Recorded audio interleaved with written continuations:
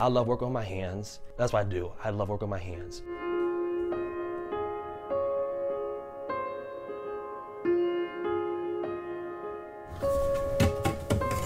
I was diagnosed with cancer in 14. It's in my head up here. This helps me cope. If I make a customer feels good, that makes me feel good. That's my therapy. My chemotherapy brings happiness to me, so the cancer will go away. One day, our kids broke our bed, so we couldn't afford a bed at the time.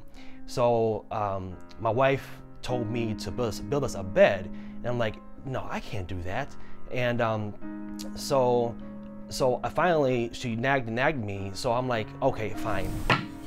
So I built I built a queen size bed, and it came out uh, sweet, like the K on it. So yeah, that's how it all started. And after that, I ran with it, and she told me you should make a business out of this. I'm like, no. And then uh, I started getting people liking it. So like, okay, now I probably got something going on here. I should start doing something with this. I ventured off from doing beds to decor stuff. I got all this stuff I do on my wall here, and I take them to craft shows. That's for, for bathtubs.